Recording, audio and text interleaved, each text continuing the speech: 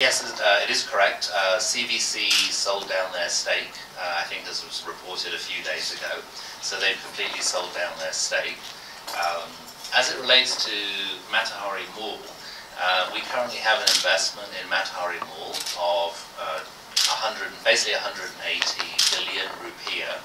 Uh, that's equivalent to essentially a 10% stake.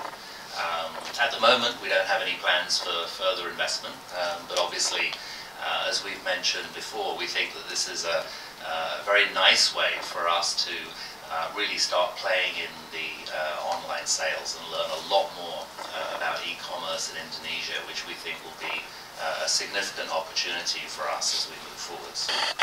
Uh, based on our dominant position now with owning 42.6% of the department store market, we think we're in the best position to work that in as part of our strategy. So over a period of time, we become a true omni-channel store in every direction.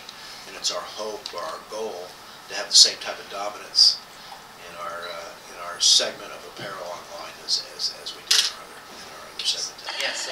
Um, so basically, uh, you know, as part, part of our partnership with Matahari Mall, we're offering the ability for customers to pay online um, basically pick up at our stores in all of the cities that we're in over Indonesia.